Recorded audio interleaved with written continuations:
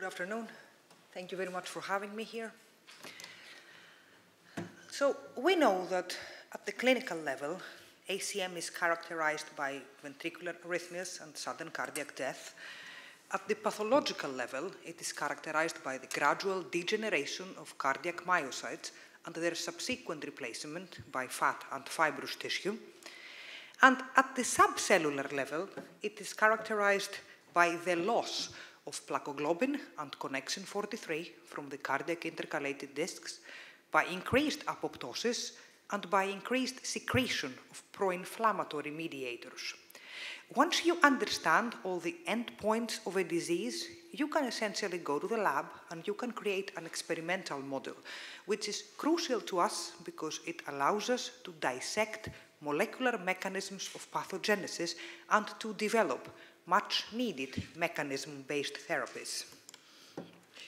So we established a collaboration with Callum McRae of the Brigham and Women's Hospital in Boston and created a zebrafish model of arrhythmogenic cardiomyopathy, which had a cardiac-specific expression of a mutation in the plakoglobin gene that in patients causes Naxos disease, a highly penetrant form of the cardiomyopathy associated with cutaneous abnormalities. Now, these fish exhibit bradycardia, reduced cardiac output, and reduced stroke volume by 48 hours post-fertilization. Soon they develop cardiomegaly, peripheral edema, and they show increased mortality by the time maturity is reached.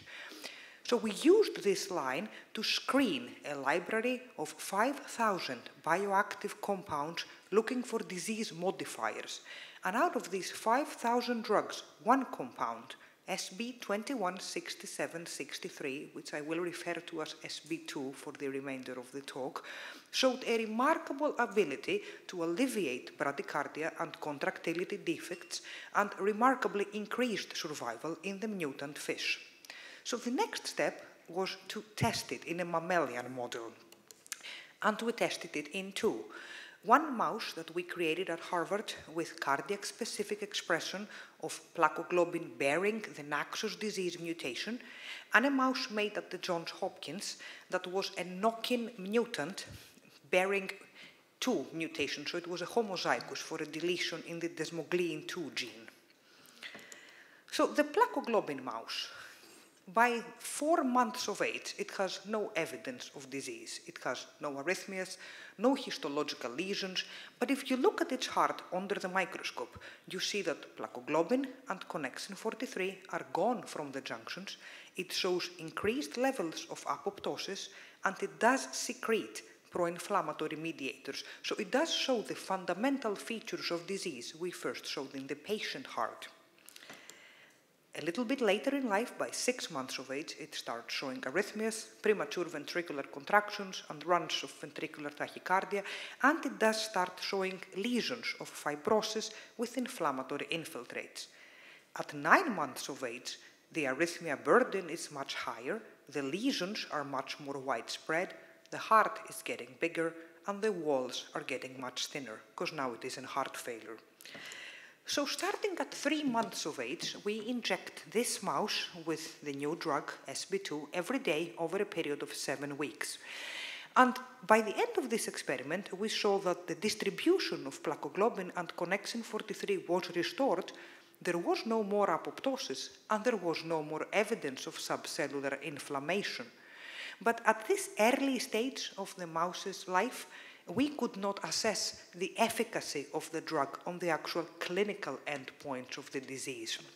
So in the second experiment, we start with mice a little older, at six months of age, implant them with telemetry monitors, and inject them with the drug for seven weeks.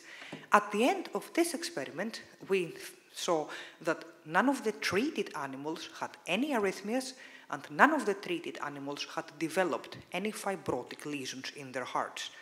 Now, if you start a little later than this, at nine months of age, you cannot stop the arrhythmias. And although you can prevent the lesions from growing any further, you cannot reverse the damage that is already done.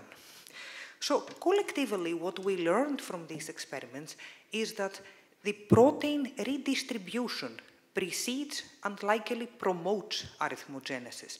And at this early stage, SB2 can stop both the arrhythmia and the myocardial injury phenotypes of arrhythmogenic cardiomyopathy.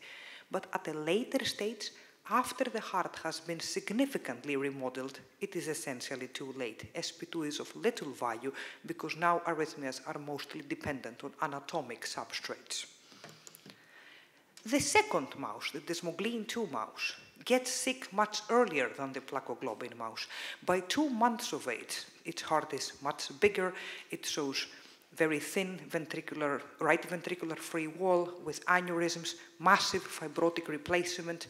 Echocardiography shows a great drop in ejection fraction down to 45% as opposed to 85%. That is what a normal mouse has.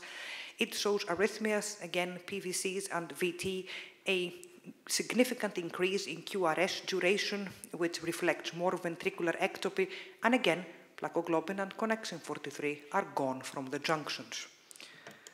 So we started much earlier at three weeks of age, injecting this mouse every day with SB2 over 13 weeks, and Echocardiography showed a dramatic restoration of ejection fraction. It went back up to 74% as opposed to 45 in animals that did not take the drug. The animals had no arrhythmias, QRS duration was normalized, no fibrotic replacement of the heart, and plakoglobin and connexin 43 when, were again localized where they should be. Now, these animals are homozygous for a deletion in desmoglein 2. But if you take a heterozygote animal with only one mutant allele, it has no evidence of disease, even up to one year of age. No arrhythmias, no lesions, no even protein distribution changes in its heart. But if you subject this animal to endurance exercise in the form of swimming every day over a number of weeks, then these animals will develop arrhythmias, they will develop lesions, and plakoglobin and connexin 43 will leave the junctions. And if you inject them with SB2 prior to this swimming regime, you prevent all of these abnormalities from happening. So this is beyond the scope of my talk, but I think it is a nice example to show the deleterious effects that endurance exercise may have in otherwise asymptomatic ARVC mutation carriers. So we had a drug that could prevent every disease-associated abnormality. What is it? SB2 was designed about 30 years ago as an analog of lithium for patients with schizophrenia and bipolar disorder, and thankfully it never made it to the market since it turns out that it can cause cancer. And that was a huge disappointment because this miraculous drug that we had found could never make it to clinical trials. But all the work did not go to waste because it focused our attention to one enzyme.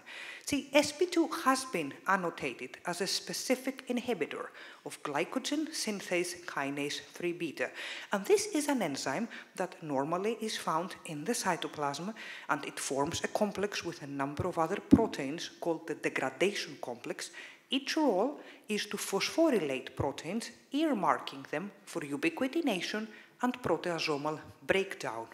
And actually, the most heavily researched protein that is targeted by this enzyme is beta catenin, a protein very closely related to plakoglobin. But actually, it does target many more proteins, affecting a lot of other signaling pathways. And we would have never stumbled upon the importance of this enzyme if it wasn't for this fish screen that identified that drug. If you inhibit this enzyme pharmacologically, you can stop ARVC. Now, the vast majority of drugs, eh, apart from their main target, they may actually have a number of off-target effects. So to be absolutely sure that this was the enzyme we were targeting in order to stop ARVC, we needed a cleaner approach, a genetic approach. So the LOX system allows you to put flags around a gene in the genome. The Cree system is essentially a pair of scissors that sees these flags and can cut a gene out of the genome. Now, GSK3 beta is needed for development, so you cannot ablate it from the genome right at the beginning of an animal's life, but you can engineer the Cree gene, the scissors, so it becomes active only in the presence of a drug. So you can actually create a triple transgenic animal that has lock sites, flags around GSK3 beta. It has the CRE gene, the scissors, but engineered in such a way so it is only active when you add tamoxifen, and then it can have an ARVC causing mutation. So you wait until these mice get into adulthood, then you feed them tamoxifen, activate the pair of scissors, and cut GSK3 beta out of the genome. And this animal will not develop the cardiomyopathy. So you cut this enzyme out, and you do not develop the disease. So to conclude, we do not have a drug, but we have a target. So we are a little closer to a cure. Thank you very much for your attention.